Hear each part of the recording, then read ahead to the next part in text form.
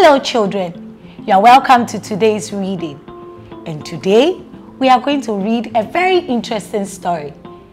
I, Auntie Selasie, is here to read this story to you.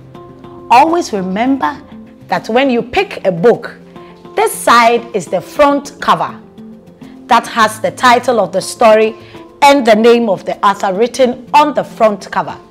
This side is the spine of the book. And this side is the back cover, which sometimes has the summary of the story and a little information about the author. Join Auntie Selasie as we read this story together. Sosu's Call by Meshack Asare.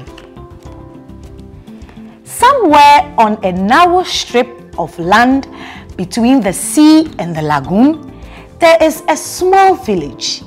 They say it was a bigger village, but every crash of the surf on the shore, the sea claims a silver of the village.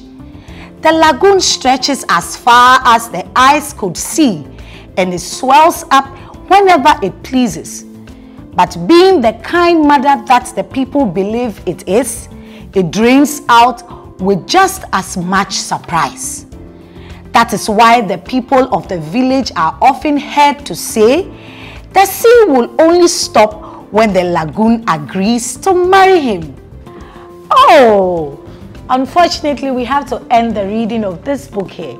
But don't worry, you can get the book from any bookshop near you so you know how the story unfolds. Thank you for your